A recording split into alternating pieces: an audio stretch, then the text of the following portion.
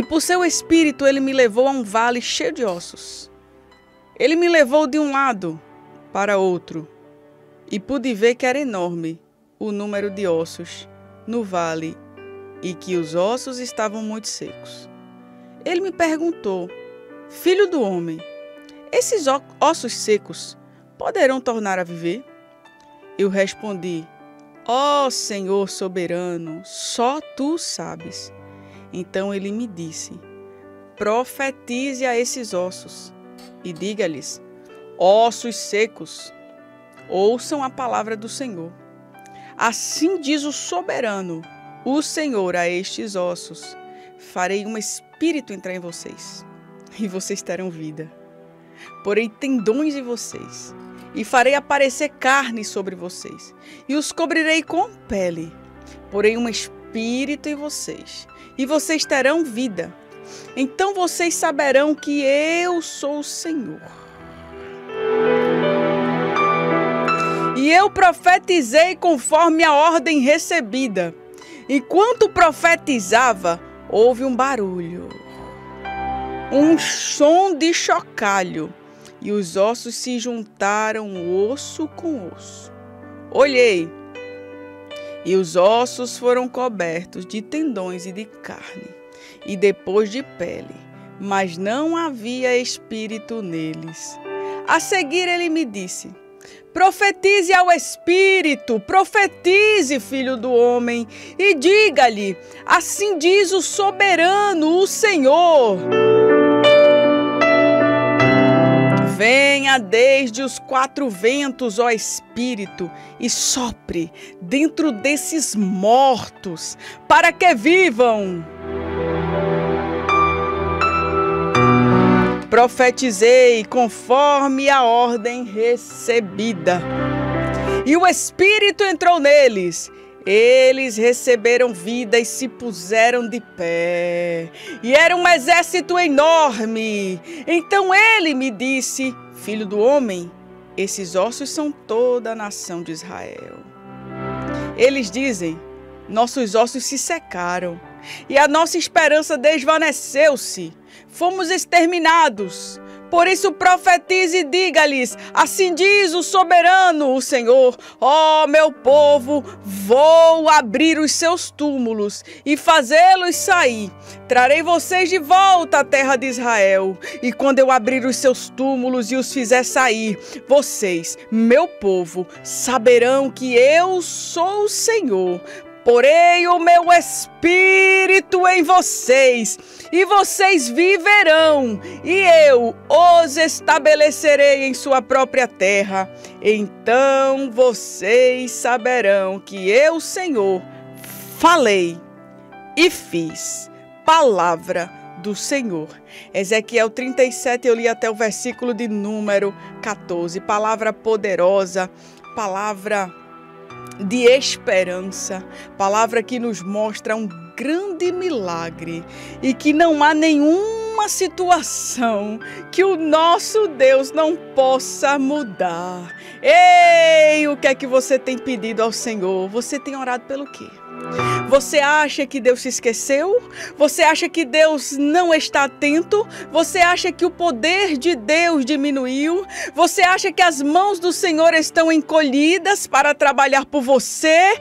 Você acha que Deus está envolvido nos assuntos mais importantes lá do céu e não está atento ao que você está passando nessa terra? Ele está dizendo assim até os ossos secos, sequíssimos, uma multidão de ossos secos. Eu, Deus Deus Todo-Poderoso, posso fazer voltar a tornar a viver o que é esse teu problema para o Senhor.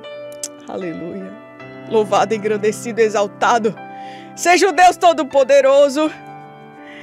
Amado, amada, nem mesmo a morte é mais poderosa do que Deus. Veja. Deus aqui ele chama o profeta Ezequiel e diz: "Vamos ali, numa visão para um vale cheio de ossos humanos. Os ossos estavam lá há muito tempo. Os ossos estavam muito secos. Interessante notar aqui que Deus não leva Ezequiel em visão para um lugar onde pessoas haviam morrido recentemente. Para um lugar onde havia corpos humanos ali, é, de pessoas que haviam falecido naquele momento.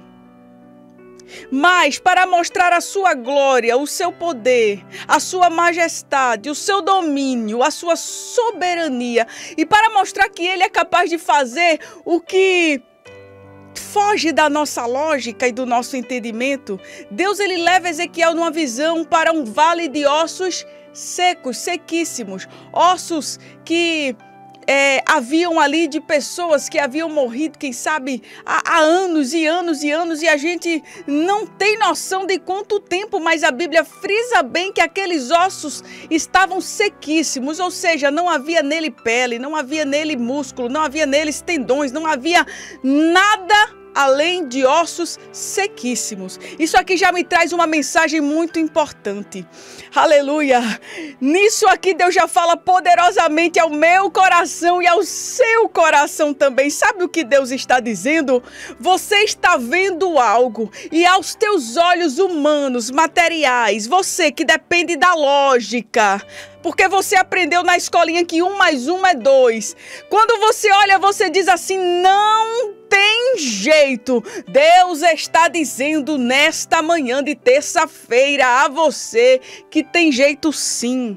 Para Ele tem esperança sim. Que diante dos teus olhos você só consegue enxergar a morte, mas Deus está vendo vida. E onde Ele diz que tem vida, tem vida e ponto final. Ele faz tornar a viver.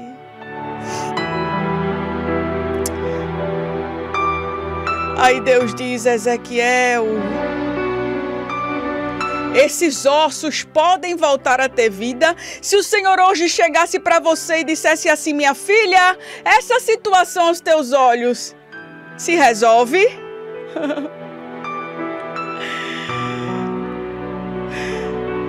o que é que você responderia ao Senhor?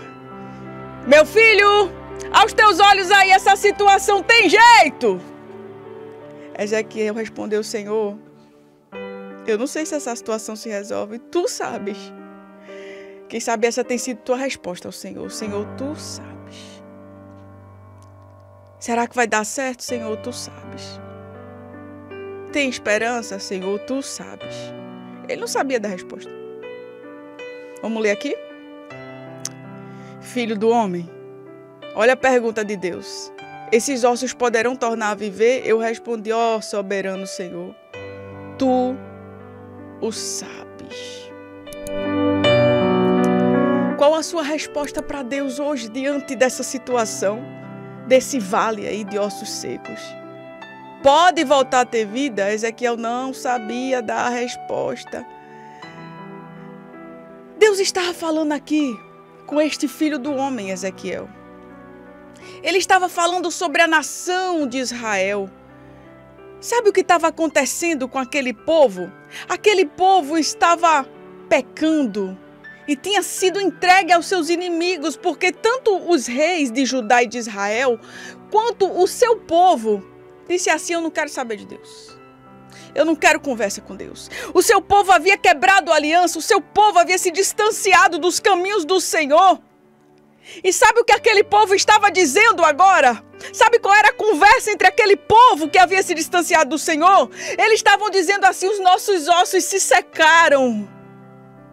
A nossa esperança pereceu. Nós estamos todos exterminados. Estavam sob o domínio dos inimigos. O povo estava se sentindo sem vida, sem esperança, destruído, assim como os ossos no cemitério. Por isso que diante daquele sentimento daquele povo, Deus pega Ezequiel em visão e diz: Ezequiel, meu filho, eu quero falar contigo porque eu amo meu povo. Ainda tem esperança para o meu povo. Eu quero fazer uma coisa nova. Porque para Deus nada é impossível. Aí Deus pergunta a Ezequiel. Ezequiel dá a resposta aqui, Senhor, tu sabes. Aí Deus ordena, filho do homem, profetiza a esses ossos e diga a eles, ossos secos, ouçam a palavra do Senhor. Eita, negócio de doido! Escuta, meu irmão, algumas vezes você será rotulado de doido, de louca, de louco, quando você olhar para alguma circunstância da sua vida, quando você olhar para aquele osso seco e diz: osso seco, ouça a palavra do Senhor. Situação difícil, Deus está no controle. Ei, gigante, eu vou te derrotar porque Deus está comigo. E eu sirvo ao Deus de Israel, general de guerra que nunca perdeu em batalha. O Senhor ordena a Ezequiel profetizar sobre o vale de ossos secos. Aleluia. Amado, amado, é preciso ter fé. É preciso ter fé. Eu imagino que naquele momento pairou uma incerteza no coração. Eu estou falando isso, vendo Ezequiel como um ser humano diante de algo que aos olhos humanos parecia impossível. Somos de carne e de osso. Nós sabemos que quando a pessoa morre, ali não há mais esperança, mas Deus, ele vem para reprogramar a nossa mentalidade em relação a tudo que nós cremos. Nós cremos que aquele viciado, aquele cachaceiro, ele vai morrer naquela cachaça. O viciado ele vai morrer naquele vício porque acabou para ele. Ah, mas ele está envolvido nessa droga desde os 11 anos de idade, quando ele fumava maconha lá com os meninos na esquina. Ele já tem mais de 40 anos e aos meus olhos é um vale de ossos secos, não tem mais jeito. Deus está dizendo aos teus olhos, mas aos teus olhos, mas ao meu não. Nós temos uma mentalidade que está sendo trabalhada por Deus a todo momento, pelo poder da palavra. Deus ele pega aquilo que não tem jeito e ele faz ter jeito. Agora a nossa mente, a nossa incredulidade, a nossa falta de fé nos faz pensar que é só um vale de ossos secos e pronto. Aí Deus vem com essa mensagem e diz: pá, tem jeito. Eu mudo, eu transformo, eu ressuscito, eu faço ter vida onde tem morte. Você está entendendo o que o próprio Deus está falando com você nessa manhã?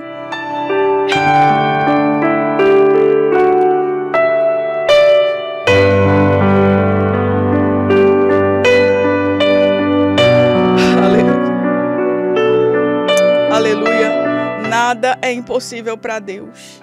A gente costuma olhar para uma pessoa.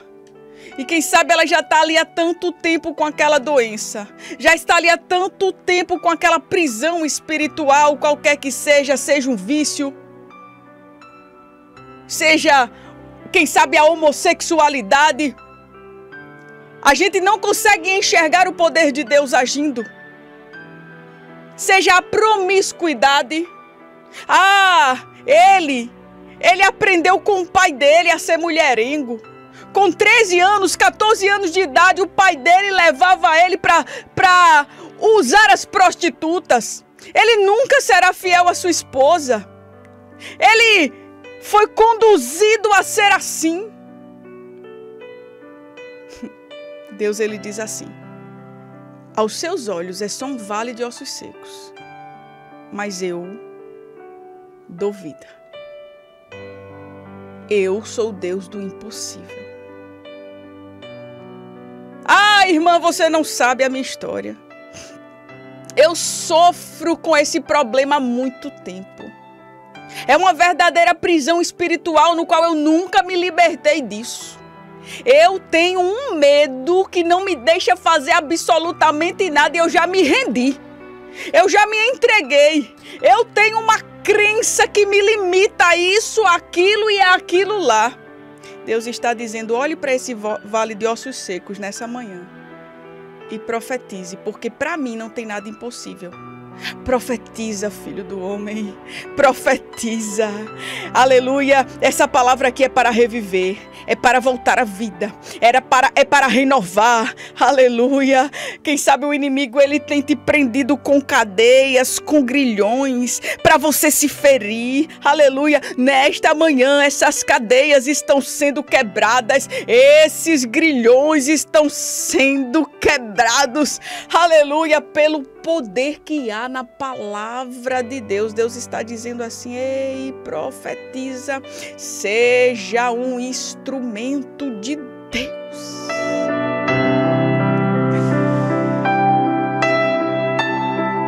Até aqui nós aprendemos a ter fé. Sem fé, nós não vemos o impossível. Mas isso não é o bastante. É preciso nós sermos um instrumento na mão de Deus. Eu não entendi, irmão, que você está falando um instrumento nas mãos de Deus. Em que sentido? Deus ele diz assim. Ezequiel profetiza. Eu estou te dando a ordem para profetizar. Aí o profeta ele entende, epa, é o próprio Deus quem está me mandando profetizar. Então eu vou obedecer à ordem do Senhor.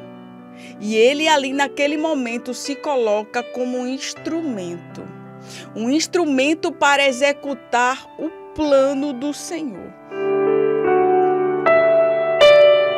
Amado, amada do Senhor, comece a profetizar sobre cada circunstância impossível da sua vida. Aleluia.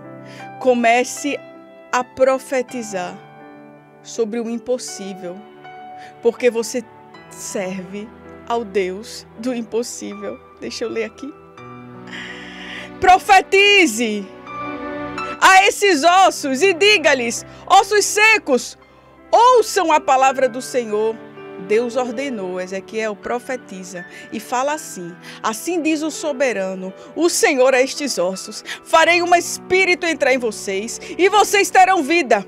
Porém, tendões em vocês, e farei aparecer carne sobre vocês, e os cobrirei com pele. Porém, um espírito em vocês, e vocês terão vida, e vocês saberão então que eu sou o Senhor. Aí Ezequiel diz aqui: E eu profetizei conforme a ordem recebida.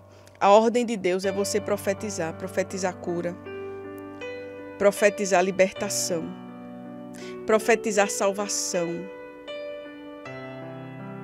profetizar bênção, profetizar vitória. Aleluia. Amada, quais são as palavras que têm saído da tua boca nestes últimos dias? Quais são as palavras sobre a vida dos teus filhos? Há poder nas tuas palavras. O que é que você tem dito para os seus filhos? O que é que você tem profetizado sobre a vida dessas crianças? Você tem abençoado ou você tem amaldiçoado? Quantos pais amaldiçoam seus filhos sem perceberem? Ah, minha filha é uma benção. Meu filho é assim, assim, assim, começa a dizer um tanto de desgraça sobre a vida dele. Profetiza a bênção.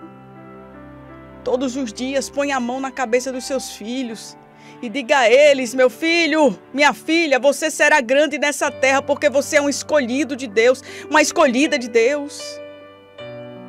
Você será grande e poderoso porque o teu Deus é poderoso. Minha filha, eu sei que é difícil lutar contra as coisas desse mundo, mas o teu Deus te fortalece.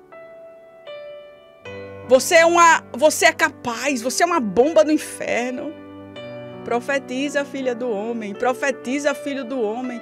Profetiza sobre esse marido aí, cavalo, que você tem falado que ele é um cavalo porque ele vive dando coisa. Profetiza que ele vai virar um gatinho. Profetiza. Profetiza que Deus vai libertar que esse gênio ruim vai bater em retirada em nome de Jesus. Profetiza que será manso, será humilde. Profetiza, filha. Deus está dizendo aqui, ô, ô Ezequiel. Isso é negócio de doido mesmo, amada. A Bíblia diz que o evangelho é loucura. Profetiza que vai te amar, que vai te honrar, que vai vencer as armadilhas do inferno. Profetiza, essa porta de emprego será aberta. E se fechou alguma porta, outra melhor ainda vai se abrir. Profetiza. Coisa boa é quando nós temos a consciência, a convicção que se uma porta se fecha aqui, daqui a pouco Deus vai abrir uma melhor ainda. Aleluia. Uma melhor ainda. Amada, olhe para a sua vida e tudo que você passou. Perceba os dedos de Deus, aleluia, se movimentando para encaixar as pecinhas do quebra-cabeça da tua vida. Perceba Deus movimentando tudo, mexendo no que ninguém mexeu. Aleluia, para te dar vitória. Perceba as coisas que ele já tirou do meio do teu caminho e o que ele colocou para te dar vitória. Tenha certeza que se um não foi dado agora, lá na frente ele dará um sim, e será coisa grande, será muito maior e melhor. Confia nessa palavra. Aleluia, aleluia. Eu já quero finalizar essa palavra aqui para nós orarmos a Deus. Vai compartilhando aqui, você que está nessa live, vai curtindo, clica aí no coraçãozinho, os irmãos que estão no YouTube, clica no like. Vamos ajudar a levar, porque nós já estamos chegando no momento da oração e nesse momento existe uma guerra no mundo espiritual muito grande e muito forte. Profetiza. Profetiza sobre o teu emprego. Profetiza sobre a vida do teu patrão. Abençoa o teu patrão, abençoa a tua patroa. Talvez não seja o melhor do mundo, talvez não seja o que você sempre sonhou, porque nós temos a tendência a sempre querer mais e sempre querer o perfeito. Mas aqui nessa terra nós lidamos com seres imperfeitos e coisas imperfeitas. Lá no céu seremos perfeitos e viveremos num lugar perfeito onde tudo é perfeição, não há dor, nem choro, nem lágrimas, é só alegria. Mas aqui na terra nós somos insaciáveis, nós queremos tudo do bom e do melhor e do perfeito. Mas não teremos aqui. Estamos nessa terra só de passagem. Abençoe até quem te amaldiçoa. Para de amaldiçoar com as tuas palavras. Para de amaldiçoar com os teus sentimentos. Aleluia. Mude a sua perspectiva, a forma que você vê tudo. É um vale de ossos secos, é. Mas o meu Deus me mandou profetizar. É uma situação impossível, é. Mas o meu Deus me mandou profetizar e eu profetizo. Eu profetizo sobre a vida desse menino rebelde que ele está sendo trabalhado por Deus e me dará muito orgulho. Um dia eu vou me orgulhar muito dele. Um dia eu vou me orgulhar muito dela. Vai ser mais crente do que eu. Vai ser um grande pregador da palavra de Deus. Vai ser um grande empresário, um grande médico. Ah, vai ter um coração de ouro que vai ajudar todo mundo. Vai ter empatia. Aleluia nesse coraçãozinho que Deus está moldando. Profetiza. Profetiza sobre a tua vida financeira. Deus vai me dar sabedoria para que tudo seja ajustado. Eu não viverei aqui nesta terra debaixo de maldições. O meu Deus, Ele é Deus que quebra todas as maldições. Profetiza, filho do homem. A Bíblia me diz que Ezequiel, quando ele profetizou, e enquanto ele profetizava de acordo com a ordem recebida, houve um barulho, um som de chocalho. Eu imagino que enquanto Ezequiel profetizava, aleluia, começou o barulho dos ossos se juntando, osso com osso. E Ezequiel ele diz assim: Eu olhei. Eita, que doidice, Jesus. E os ossos foram cobertos de tendões e de carne. E depois de pele. Meu Deus! Esse é o Evangelho que eu vivo e eu creio, que aos olhos do, dos homens parece loucura. Olhei e os ossos foram cobertos de tendões e carnes e depois de pele, mas eles continuavam lá. O milagre não havia acontecido por completo. Não havia espírito neles. Aí o Senhor diz assim: Agora profetiza, filho do homem. Diz assim: Venha desde os quatro ventos, ó Espírito, e sopre dentro desses mortos, para que vivam. Profetizei conforme a ordem recebida. Aleluia. E o Espírito entrou neles, eles receberam vida e se puseram de pé, e era um exército enorme. Aí o Senhor diz: Então vocês saberão que eu, Senhor, falei e fiz, palavra do Senhor. Se Deus disse, está dito, a última palavra é dele, ele cumpre o que ele fala. Aqui na história nós vemos o desfecho dessa visão, o retorno do povo de Israel à sua terra. O Senhor fez o impossível acontecer com aquele povo seu que havia se desviado e que estava dizendo: os nossos ossos se secaram, não tem esperança. Deus leva Ezequiel para o vale de ossos secos em visão, profetiza, os ossos se juntam, se torna carne, se torna um grande exército.